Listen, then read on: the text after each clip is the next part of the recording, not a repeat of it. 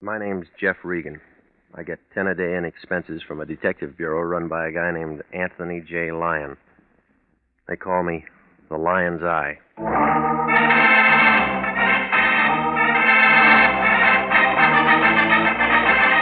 With Jack Webb as Jeff Regan investigator, stand by for hard boiled action and mystery and thrilling adventure in tonight's story of The Man with the Key.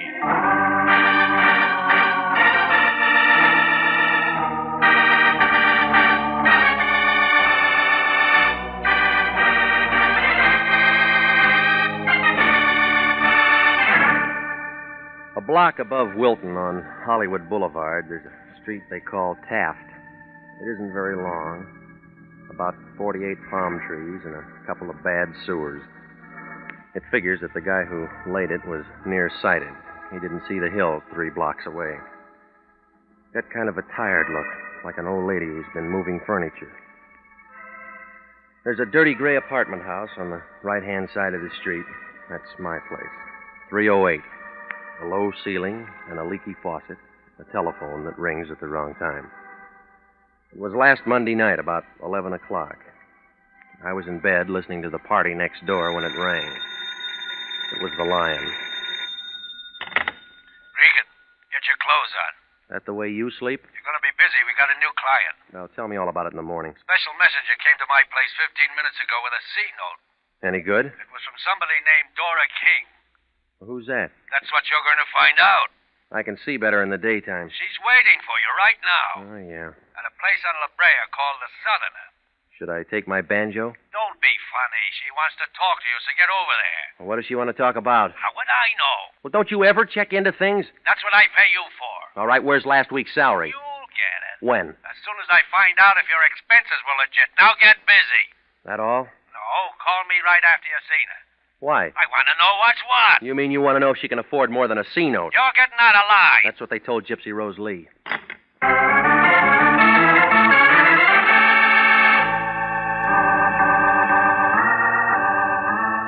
Well, I got over there about 11:30. Turned out to be a small place, long on the shadows and short on the whiskey.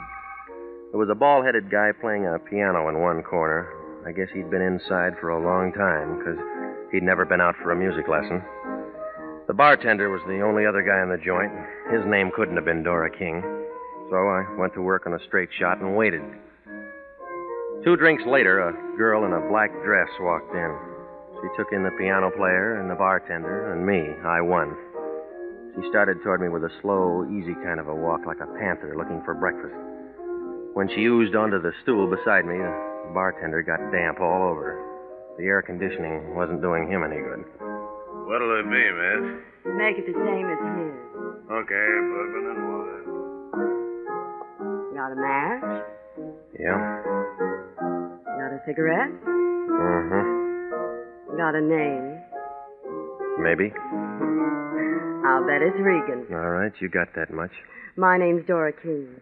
I'm sorry I'm late. You ever on time when you meet a guy? Mm, No. Your money, you can spend it any way you want. You always this nice to customers. I don't get paid to be nice. What do you get paid for? You got a story? Mm, I haven't had my drink yet. Hey, you. Coming up, coming up. I'm jet propelled. Here you are, miss. Hey, hot night, ain't it? You waiting for the weather to change? It ain't gonna change in here, brother. What's your first name? Jeff. Hmm. I don't like it. Neither do I. I'm going to call you Regan. All right, let's start calling. Have you got a license? Covers up a hole in my wall. Mhm. Have you got something that says you're what you say you are? All right. Here. Hmm. The lion's eye. Six feet, 170. Brown eyes. Hmm. You fit? Yeah, I got a mole on my left shoulder. Let me see him. You pass. Okay, you won the toss. Let's kick off. Well, this isn't where we play. We'll go in my car. Where? You'll find out when you get there. Maybe I won't like the field. You trust me, don't you? No. Good. Uh, fill her up again. We're just leaving. Floor show starts in a couple of minutes. That uh, piano player going to be in it? Yeah, he's my brother. He's gonna play something he wrote himself. Any good? Stinks. Maybe you better go.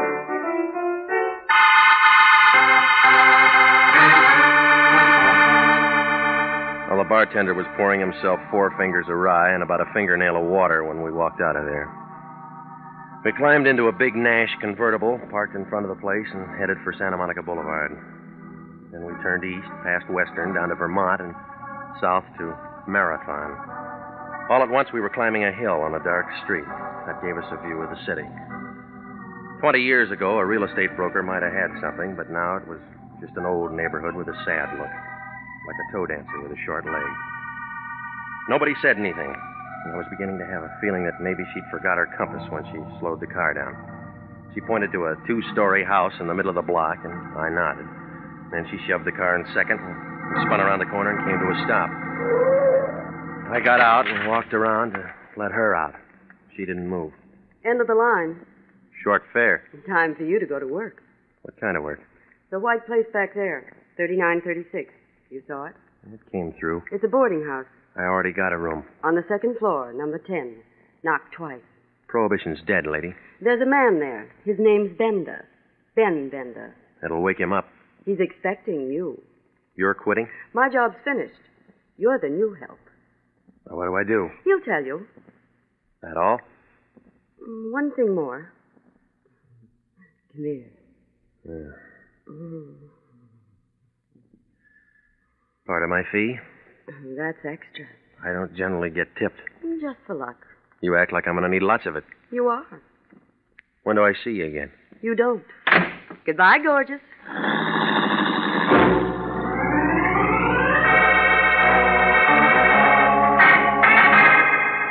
I stood there and watched her drive away. And then I noticed it. Somebody in a black coupe coasted around the corner, kicked into high gear at the bottom of the hill. I kept watching, but whoever it was hadn't read the traffic laws lately. He didn't use his lights for two blocks. Oh, it registered. He was on a tail job, and Dora was nice to tail.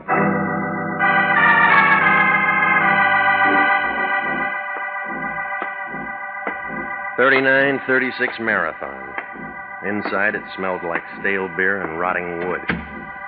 Room number 10 was at the top of the stairs. The door was already open. A thin guy with a hungry look was sitting on the edge of the bed. He was all bones. He didn't get up when I came in. He just kind of looked at me, and his eyes were full of water. All of a sudden, he pulled a bandana out of his pocket and began coughing. You're sitting in a draft. All my life. you, Regan? A girl with warm lips said I'd find you here. Thanks for coming. Sit down. hey, just got back from a trip. Up north? Yeah. Sanitarium? State said I needed a cure. Did it take? What do you think? You're still coughing. The doctor said I could go. Even give me a going away present. Ten bucks and a suit of clothes. it was a bum rap. That's what they all say. Who I am? Ben Bender. Big Ben Bender. Does that mean anything to you, Pilgrim? Must have been before my time. Yeah. How old do you think I am? I'm out of practice. I look 60. And I'm 45. That's what seven years in the sanitarium will do. You ought to get a specialist. Already got one. What's his name? You. No, I'm only an intern. You'll do. All right, what do you want? The guy goes up there, he makes a lot of friends. And a lot of enemies. Sometimes you can't tell one from the other. Does it make any difference? Big Ben don't trust nobody. No, what about that girl? Dora? Forget her. Her job's done. That's what she said. See this key? Yeah? I wear it around my neck. I worn it for seven years. You'll wear it for the next seven hours. Why? Them friends and enemies I was telling you about. What does the key fit? My safety deposit box at the American Security Bank. You meet me there. Tomorrow at 10. What if I oversleep? Stay up all night. I'll pay for the no dose. Just be there. After that? and your job's finished. it's off it's off this door you ever made. Look, now you kept this key seven years. Why can't you keep it for seven more hours? My business. What's in the box? My business. Okay. Any of those friends or enemies drive a black coupe, white sidewalls? I don't know. Why? My business.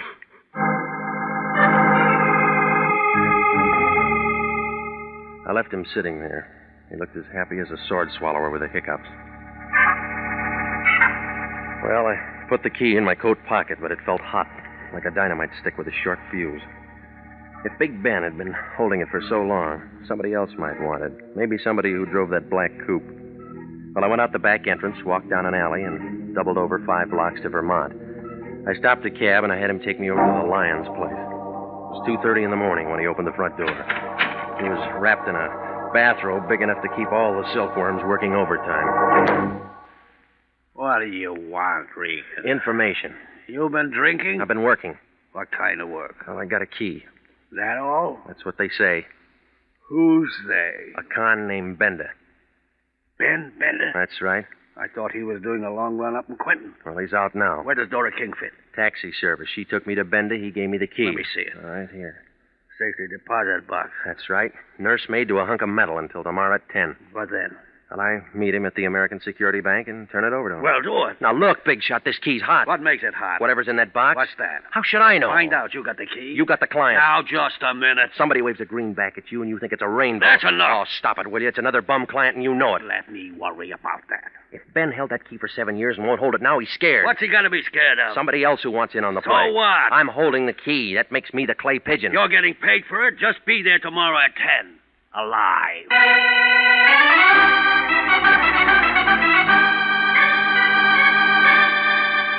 Well, I left the lion and went out to the street.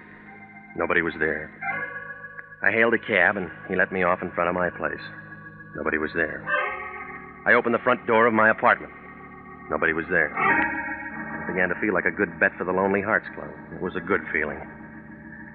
I sat up all that night waiting. Nothing happened.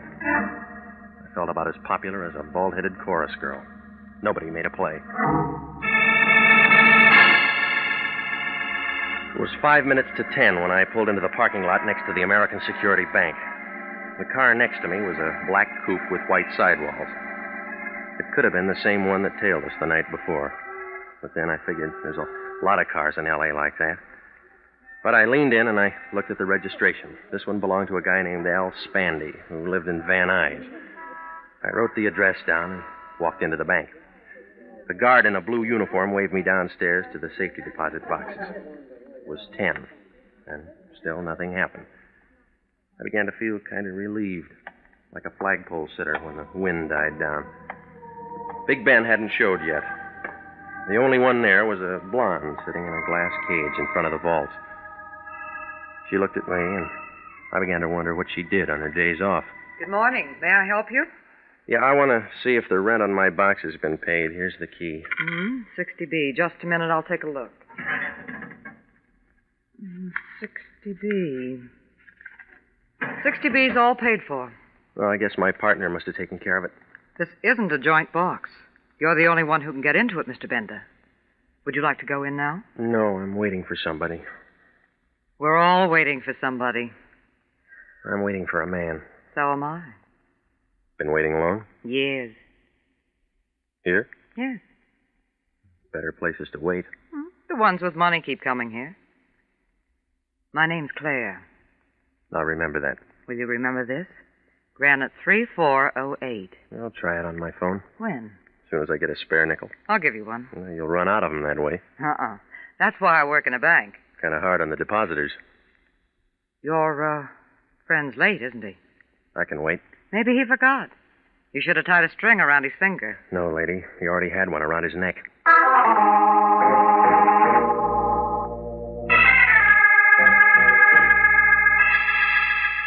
Well, she went back to copping nickels, and I sat down in one of the plush chairs and waited. 10.30 came, 11 came, Bender didn't. I began to get an uneasy feeling, like a bubble dancer with a slow leak. At 11.10, I couldn't take any more waiting, so I left to head for Bender's place. Outside the bank, a thin guy with a sharp head was hawking papers. I slipped him the nickel that the blonde had given me, and he handed me a Daily News.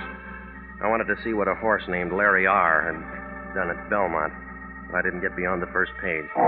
Bender's picture was there, right next to Governor Dewey's, only Ben wasn't running for office. They found him in his room full of bullet holes. I guess he finally got a cure for that cough. I took my car out of the lot and headed for home. I mixed myself a tall one, and I was just getting to the bottom of it when a couple of guys kicked my door open. Regan, Yeah.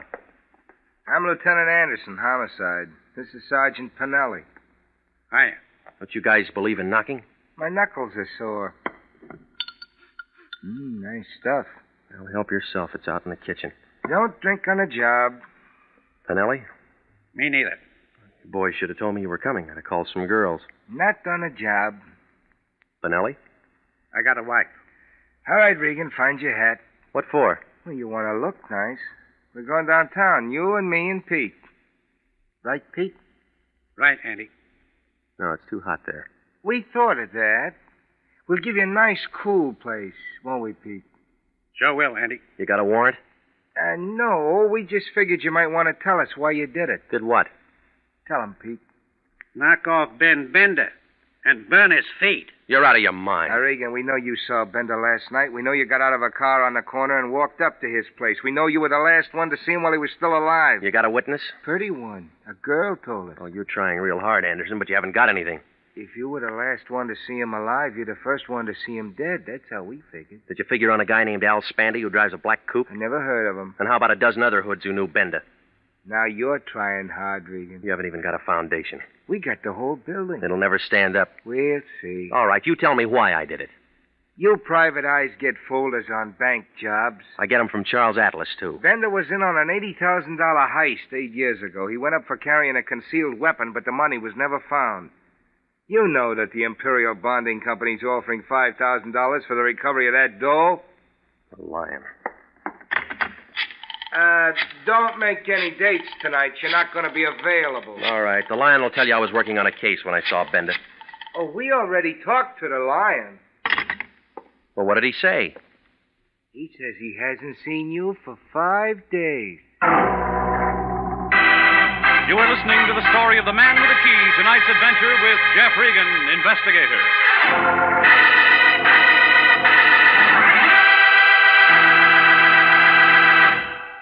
Commissions are still available in the Army Nurse Corps Reserve.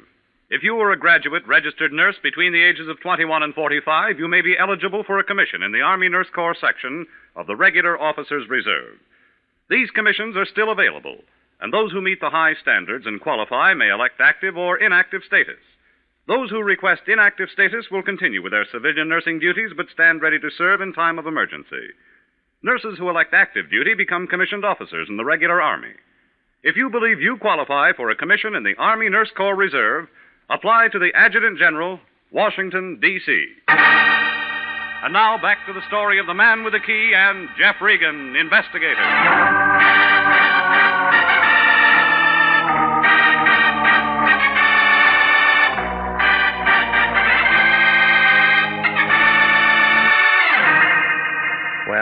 Had about as much chance as a violin player with no chin.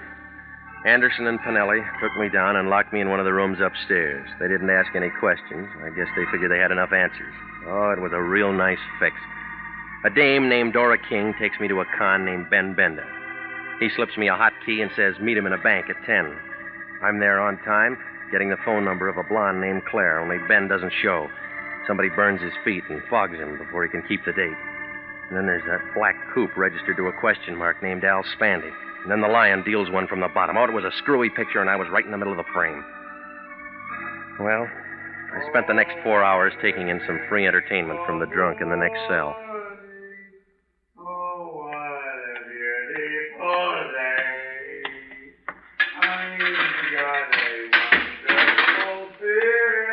Okay, Regan, on your feet. Bastille Day? You're sprung. Well, I was getting tired of the floor show anyway. Try and make it Saturday sometimes. That's our big night. Hard if I bring a date? I gotta phone. I gotta phone my wife. That guy ought to be at Ciro's. Where do you think we picked him up?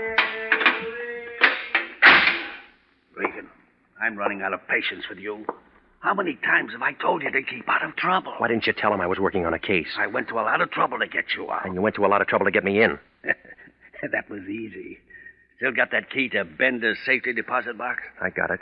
Tomorrow morning at 10, you're at that bank getting into the box. You're crazy. It's in Bender's name. I'll teach you how to spell it. I won't do it. Homicide might like to know you got that key. Now, you listen to me, and we'll both make dough. Where I'd be, I couldn't spend it. If the 80,000 bucks from the bank job Bender pulled happens to be in that box, like I think it is, Imperial Bonding owes us five grand reward. I don't like it. You owe it to the company. Now listen, you. Bender was knocked off for this key. Whoever wants it might make another try. Nobody knows you got it. Well, I'll give it to you, and nobody'll know you got it. Regan, I'm giving you a chance to straighten yourself out. That's right. What do you mean? I feel stiff already.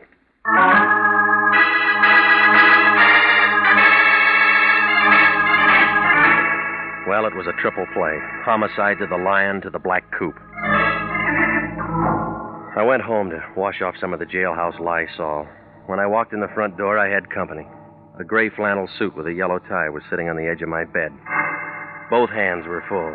The whiskey was mine. The gun was his. When he saw me, he set down the bottle and walked over and put the gun right against my neck. It felt cold, and I got kind of nervous, like a hula dancer in a forest fire. Hiya, uh, Regan. Been waiting for you. You like my liquor? I'm a rye drinker myself. Well, bring your own next time. That ain't being sociable. You weren't invited. How could I have been? You don't even know me. You're Al Spandy. You drive a black coupe. What I have for breakfast? Egg, and it's all over your tie. You look hot, Regan. You have to hold that gun there. Right there. Same one you used on Bender? The same. All right, now give me, Regan. I told you, I don't have any rye. Where's the key? I don't use one. My door's always open. Uh, I'm talking about that key you got from Bender. I don't have it. Do you hear any music? Yeah, but I'll sit the next one out. No, you won't. This is a men's cheat. I'll step on your toes. I don't mind. It's a polka, and I want to do it with you. Ooh.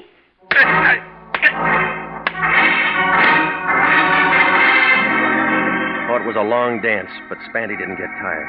I knew I wasn't going to last the evening out. And then I saw Dora King standing in the doorway back to Spandy. She was taking everything in like a Hoover vacuum cleaner on a dirty rug. She had a 25 in her hand and she knew how to use it.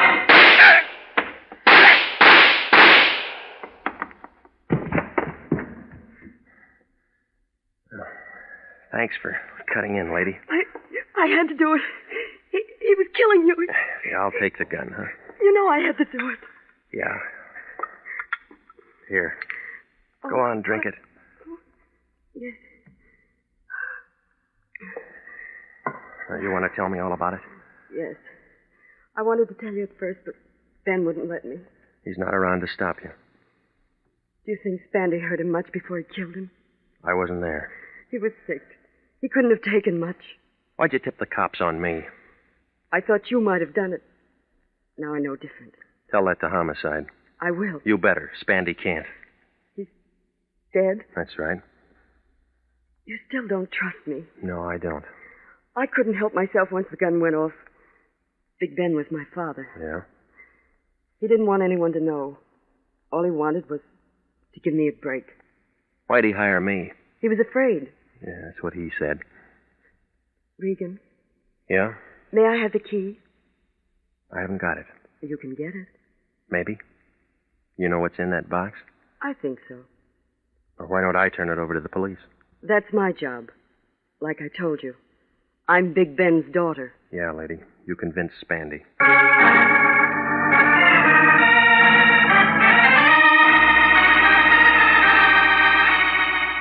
Well, I called homicide, and Anderson and Pinelli handled it. We all wound up downtown.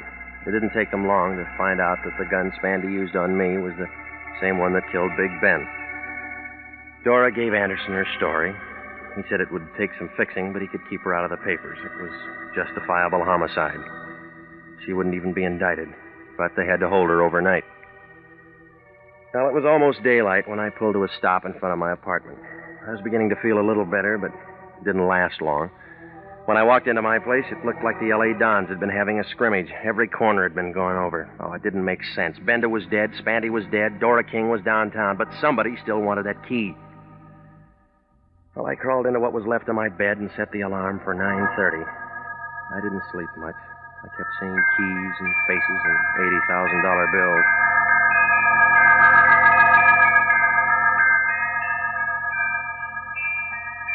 Ten o'clock the next morning, Granite 3408 was still sitting behind the same desk near the same safety deposit vault. She gave me the same look. I waited for you to call last night. I spent the nickel. On a doctor? I'd like to get into my box. All right, Mr. Bender, sign here. All right. Looks like part of the new freeway. One thing about a vault, it's quiet. So's a tomb. We're alone. Yeah.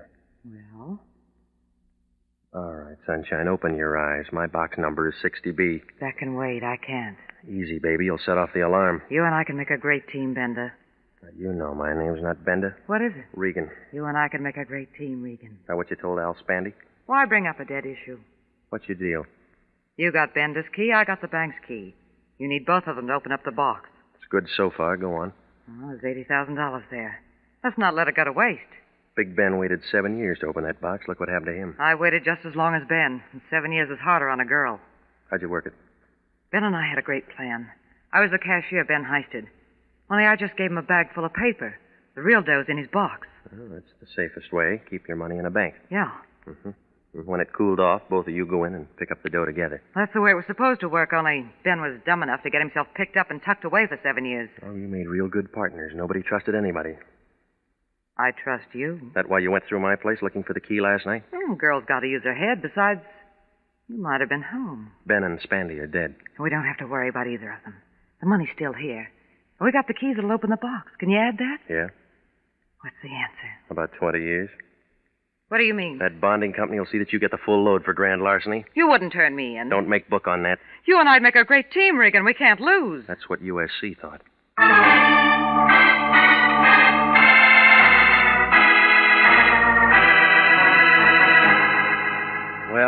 I called Anderson and Pinelli, and they came out and picked her up.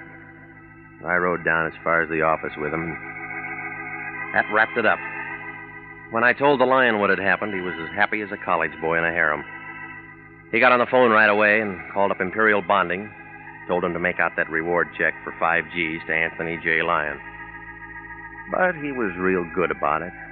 He took me for a ride in his new Nash convertible. Well, I guess he deserved it. He was really the patsy that had done all the heavy work ever since he bailed me out of jail. Because that's when I slipped Bender's key in his pocket.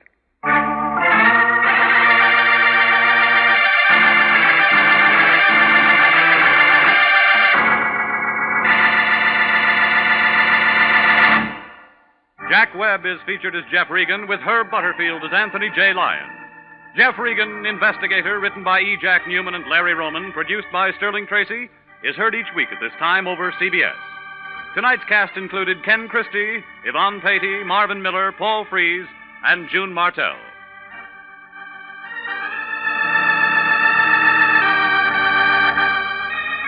If you are a graduate registered nurse, please listen carefully to this important message. 29,000 nurses are needed to join the new Army Nurse Corps Officers Reserve. All nurses who receive reserve commissions will benefit from the opportunity for specialized training offered to them by the Army. Inactive reserve status will not interfere with a nurse's civilian life, but the educational opportunities offered her by the Army Medical Department will be of great advantage. For further information, drop a card to the Adjutant General, Washington, D.C. Original music for this program is by Dick Aurandt. Bob Stevenson speaking. This is CBS, the Columbia Broadcasting System.